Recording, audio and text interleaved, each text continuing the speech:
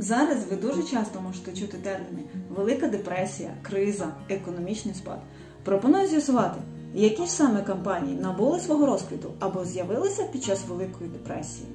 Всесвітньо відомі компанії Adidas і Puma були засновані в 1920 році в післявоєнну розруху. Сім'я Даслерів почала шити домашнє взуття та взуття для інвалідів, яких після війни було немало.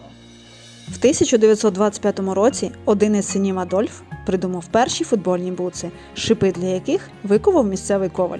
І це шипове взуття швидко стало популярним серед спортсменів. В ті часи взуттєві фабрики не розглядали спортивний напрямок як нішу, тому даслери швидко стали відомими.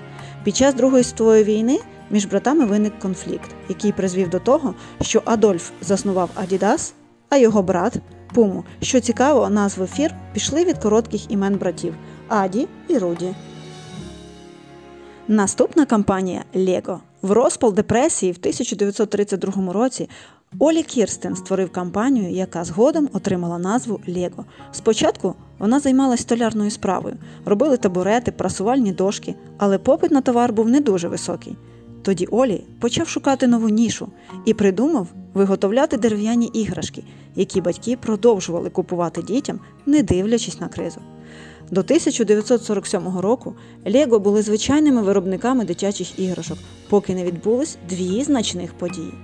Перша це викуп прав на розробку англійського психолога Хіларі Пейджа пластикових кубиків, які можуть з'єднуватись один з одним. І друга покупка найбільшої в даній форми для відливання пластику. Саме після цих кроків компанія здобула світового визнання. Ще одна компанія, яка відродилась в цей період, це Пепсі. У неї є дві дати народження.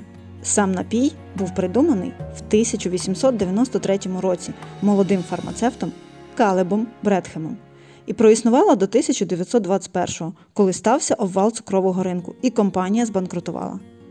Через сім років, на початку Великої депресії, її відродив Чарлі Гуд. Це був той випадок, коли криза пішла компанії на користь. Головним конкурентом була Кока-Кола, але основна ідея Пепсі використання пляшки в два рази більшої поємності, чим у Кока-Кола спрацювала. Рекламний слоган свідчив платиш як раніше, отримаєш вдвічі більше. Це була ідеальна стратегія в епоху, коли всі економили.